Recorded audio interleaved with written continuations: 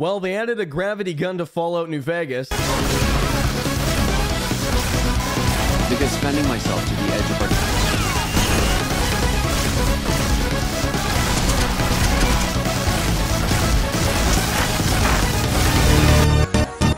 No, I'm not going to explain myself. This is how things are and how I've accepted my game to look. Our adventure begins with me getting shot in the head and killed. Shortly after Emergent sells a bunch of DLC to my dead corpse, I pull an Uno reverse card and not die. I am soon greeted by a man whose face could qualify him to be an expert scare at Monsters Incorporated. Can you tell me your name? What kind?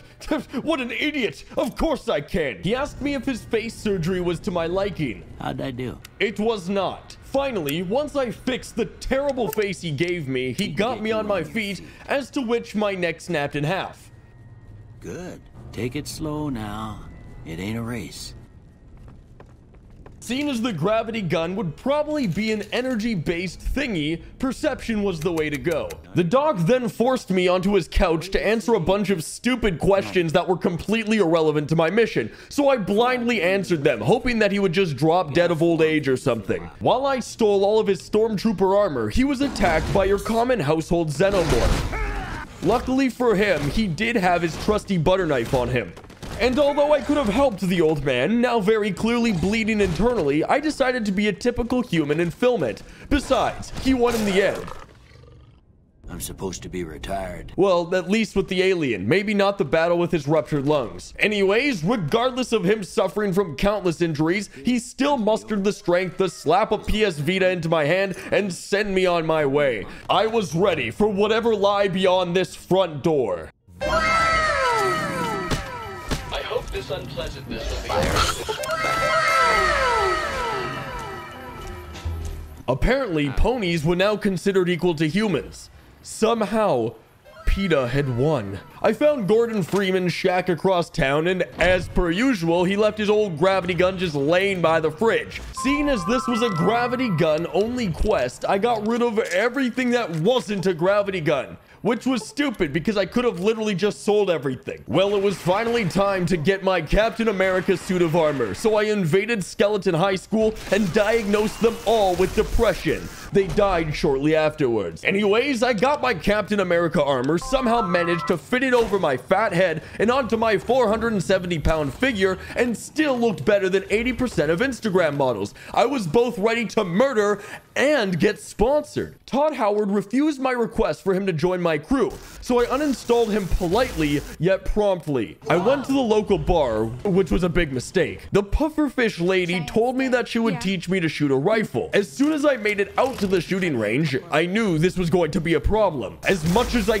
tried to please her thirst for broken bottles, my gravity gun could not provide her that satisfaction. And so? I was exiled from town, never to show my face again. As I took my first steps into exile, I tripped off a rock and broke both of my legs. Pretty soon, my companions turned on me, so I knew that after I killed some skeletons, I would kill them too. So then, using my quadruple digit IQ, I staged all of their deaths as accidents. Sadly, Larry the Deathclaw just kept coming back. There was only one thing left to do. I lured them into an abandoned shack using cupcakes, and then I absolutely obliterated the mortal fools. They never stood a chance against my gravity gun. After I committed several war crimes against my companions, I ended up running into Bob the Builder, who warned me about death claws. Hold up.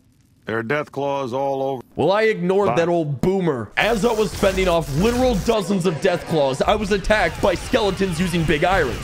I was cornered on all fronts, so I defended my ground, tossing my enemies like sacks of potatoes. They were no match for my utter gamer ferocity. My destination was New Vegas, and not one thing would stand in my way to get there. I fought tongue in cheek through droves of death claws with nothing but a gravity gun and my wits about me. They took some pretty good swings at me, but in the end, they could not do a thing about me flicking them a hundred yards without breaking a sweat. Until, of course, they did kill me. They chased me straight into the outskirts of Vegas, where the savages lived. I threw them around just for fun. One of them even exploded. For a moment, I forgot about my mission. I was just enjoying the beauty of chucking their ragdoll bodies and making them experience inhuman glitching. And then the gnomes attacked, spitting acid at me like I was nothing more than target practice. I literally ripped off their pathetic beards with my gravity gun and used them as mop heads. They got what they deserved. Then I found a prospector with a Nuka Quantum, so I responded naturally by tossing him over the nearest mountain.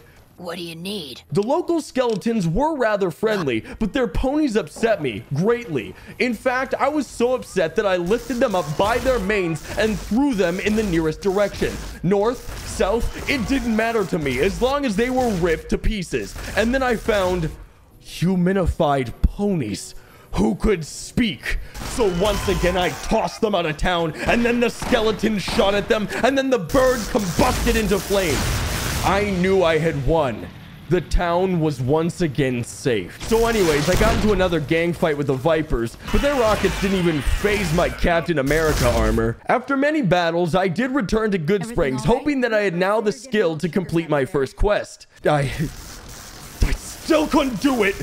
I wasn't strong enough. My hands were covered in blood, but I could barely break a bottle. Everything all right? Completely embarrassed by my failure, I rounded up all of the humanified ponies and tossed them. I tossed them like they were nothing. This would teach them a lesson that they would not soon forget. So anyways, I finally arrived at Vegas, met the incredible barfing man, and waltzed right through that front gate. The city was so beautiful that my game crashed. And then I met what I could only assume to be a child who was out for blood. Sorry, but I need to shoot Stacy. Immediately after that, I somehow got into a gunfight, so I destroyed all of the nerds, but then the Naruto running alien came into the picture. Luckily, I had him cornered, and I absolutely annihilated him. Now, the big question is, have you ever met the incredible pig-headed man? Hey. Now you have. I went inside their lame clubhouse looking for the washroom, but then, of course, alien. So once again, the attack had begun, and then I hung that alien from the ceiling like a trophy. So then I met this thing. You're not a king. Does the king know you're up here? and I quickly put them out of their misery. The problem was apparently that wasn't okay. I then had to single-handedly fight every single living, breathing thing in that clubhouse, and at one point, they actually pinned me down and beat the crap out of me, even unloaded about 30 rounds straight into my spleen. Unfortunately for them, I didn't have a spleen, and I threw every man, woman, and dog down every flight of stairs available to me. And then I finished the fight by messing up all of their folded laundry. I wanted even a moment's break, but as soon as I hit the streets, a balloon was shooting up the town. Again, it was a massacre, one that I did not want to be involved in. But I never get what I want. I chased the remaining survivor into a back alley, who then threatened to kill me. Nah, just some idiot that wandered down the wrong alley. This guy, this overall wearing punk. Well, I tossed him into the nearest garbage can and killed his family. A powerful lesson to be taught for sure. After that event, I headed to the strip where Gizmo Duck asked for a credit card check or he'd kill me. So I forked over the 2,000 caps. Thank you, sir. You may proceed. For those of you that are more educated in the lore of DuckTales, you know not to mess with this guy. I was ecstatic to finally be in Vegas.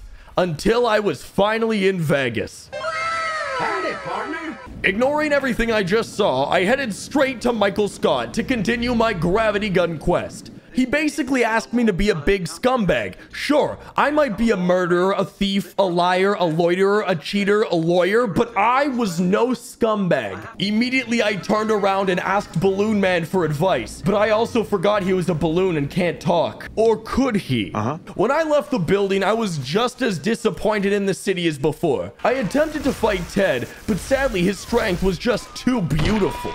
So, after I threw around some gizmo ducks, I finally made it to the Tops Casino, where I barged through the front doors and shot up everything inside. No one would be free from the wrath I bestowed upon this sinful environment. But that was just a dream. In reality, I was actually very polite. I kindly handed my weapons over to the nice man at the counter. And then I met Benny. Let's keep this in the groove, hey? Smooth moves, smooth. His face was so beyond distorted, I actually questioned whether or not I was the one to get shot in the head. He ended up sending me up to the presidential suite, asking me to wait for him. Knowing this was some sort of scam to sell me a fake timeshare or something, I immediately reported him to the desk clerk, who believed every word I said instantaneously. He then gave me all of my weapons back. I slapped on my gravity gun and headed up to the prez.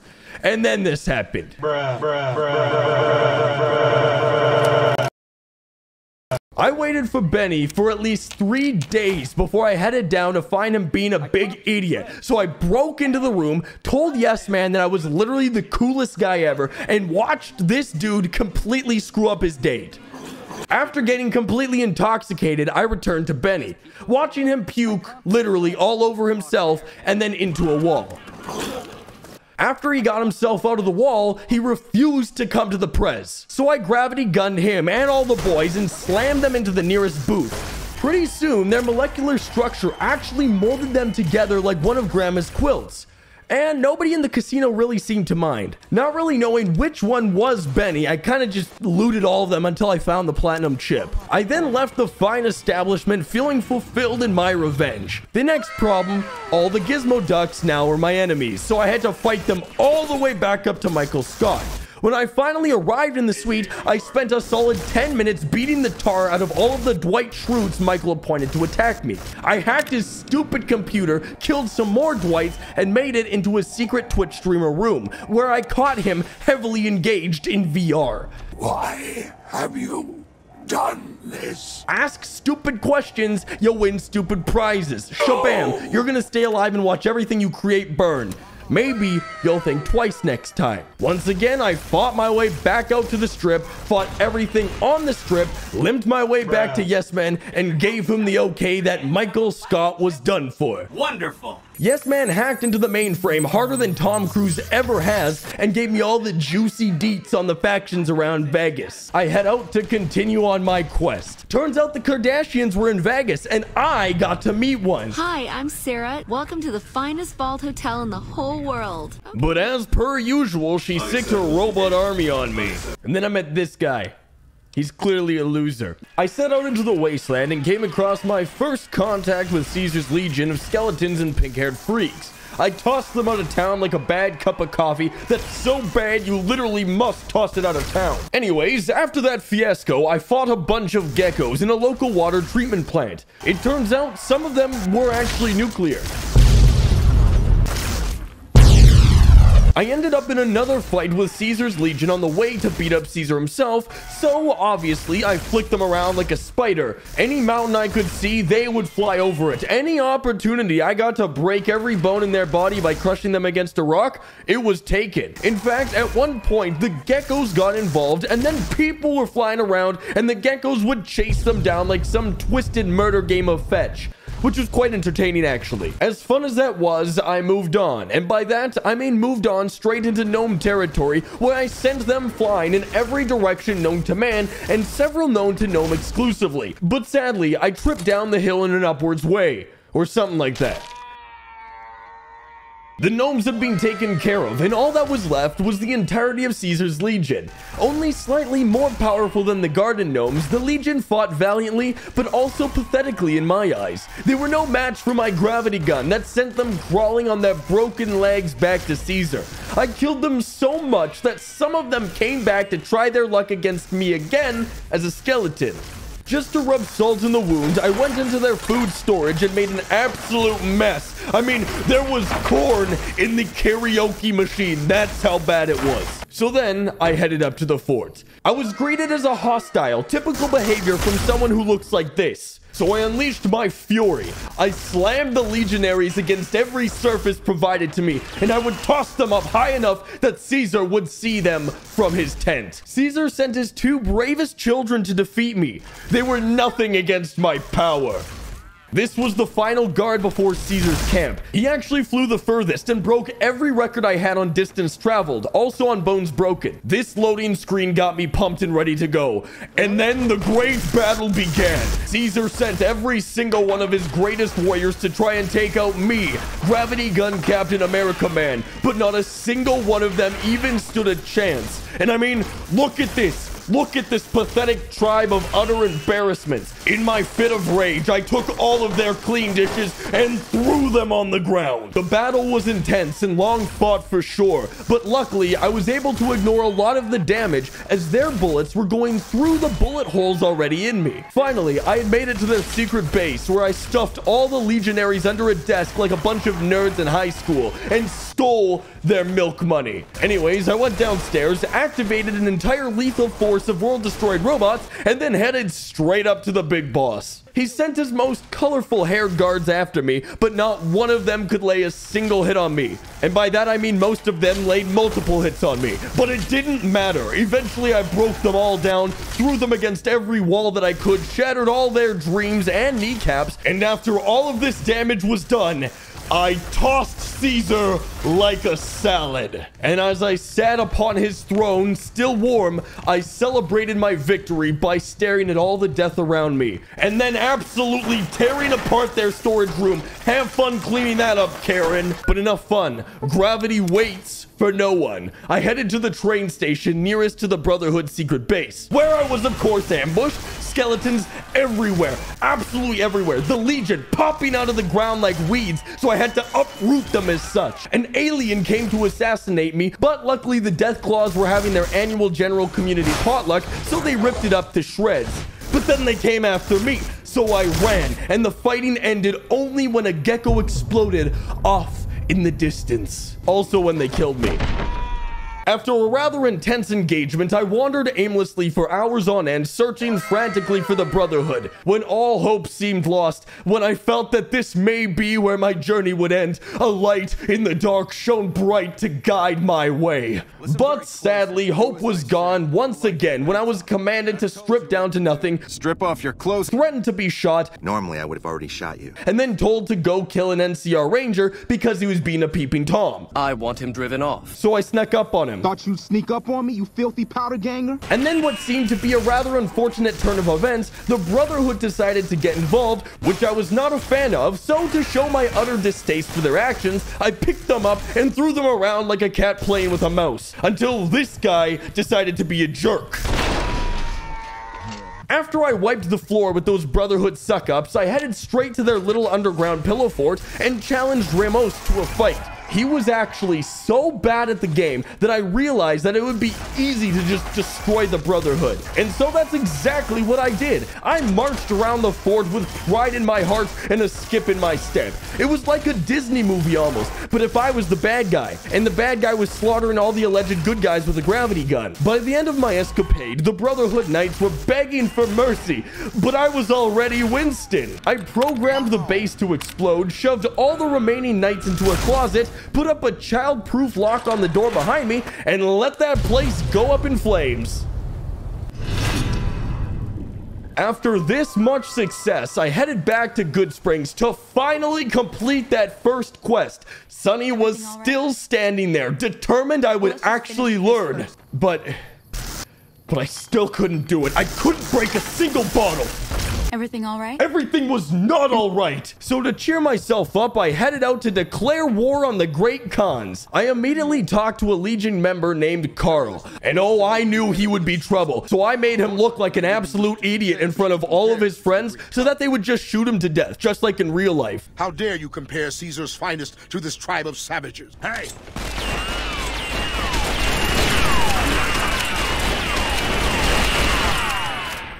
Then I found a gang of completely glitched out creatures, as to which I just launched them into the stratosphere, along with their boss, Yowie, who is a straight up sleep paralysis demon. As I ran to the boomers, a noise broke the silence.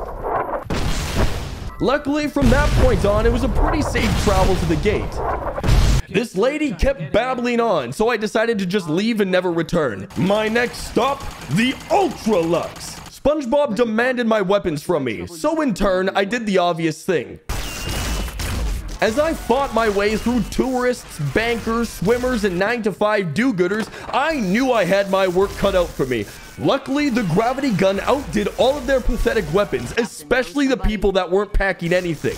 I ended up accidentally cooking everybody in the swimming pool, which was actually a blessing in disguise, as I could tell that half the people in the pool had definitely eaten within half an hour of swimming. I managed to single-handedly take out most of the casuals, but soon I found myself in the midst of a SpongeBob fan fiction convention. All of a sudden, I was wasted out of my mind. The next three hours were an absolute blur, and all I can remember is the sound of their pitiful screams and the scent of gunpowder and electricity. And all of a sudden, I snapped out of it. I stood wearing one of their faces on mine. I had no idea what had happened, but I knew that my gravity gun had carried me through the night. I let Yes Man know that I had killed and or shunned everyone in the wasteland and I was ready to tackle the final task. Seriously, you just made my day. He sent me to an NCR radio broadcast, no doubt to stop them from blasting Baby Shark all day long. When I entered the building, I knew what was coming next. I destroyed their tech, killed all of their stormtroopers, and somehow managed to do all of that without them absolutely hating me. Are you ready to head for the dam? This was it. The final mission in beating New Vegas with only a gravity gun in my hands. There was no turning back now, and besides, there was literally nothing to turn back to. Everyone was dead. And so I made my way to Hoover Dam. The fight atop Hoover Dam was nothing short of spectacular. I've never thrown so many losers off such a high place, but of course, Caesar's pink-haired centurions were using illegal weapons, so they occasionally got the best of me. Knowing things might be too difficult being sober, I drank 70 beers to the point where I could almost access the Matrix without taking the red pill. For the next 30 minutes, I absolutely annihilated every living thing on the bridge, innocent or not. And all of a sudden, I found myself randomly on a tower next to a stormtrooper. So I killed him. My first task, mess up their games room. No fun would be allowed in my Hoover Dam. My next objective was to explode the dam. In the process of this, I ended up breaking both of my legs and my eyes. All I did was open a door and the NCR completely lost their mind, so I had to put them down. Then the racket caused from my tussle with the inferior NCR guards caused Caesar's Legion to come after me as well. Once again, I was throwing these losers down any hallway I could, and then I met Mike. I'm gonna go find someplace safe to hide out. Oh yeah, he was definitely gonna die today. Now the problem with exploding Hoover Dam is that it actually makes you shunned by the Galactic Empire. Ah, well, that's how things go. Mike was definitely dead. I then let the Legionnaires and the NCR go at it for a little bit as I just enjoyed the peace and quiet for once. But enough was enough. I went out there like a mom bursting in on her kid listening to that sinful rap music and killed everyone in sight. Hoover Dam was destroyed and I was almost done with my task. Yes Man's robots cleared the way for me to get to Little Caesars without having to order Uber Eats, which was a nice change of pace. I fought the remaining Legion forces, which was only about five or six dudes who didn't get the memo not to go to work that day. After they had been put in their place, I confronted potentially the most vicious enemy I've ever met an envoy of Vegas. Yet you carry yourself for battle. Let us hope your skill with weapons proves greater. I negotiated like I had never negotiated before. I was sweating all over my custom fit Captain America cosplay. My SpongeBob mask hid nothing but pure fear for my own life. In the end, I managed to convince Easy Pete to back down, and he left without a word. Bye. And then I made my exit. I didn't really have time for this guy, so as long as he wasn't rude to me... I know you're riding high right now, but let me tell you. All right, throw him off the bridge.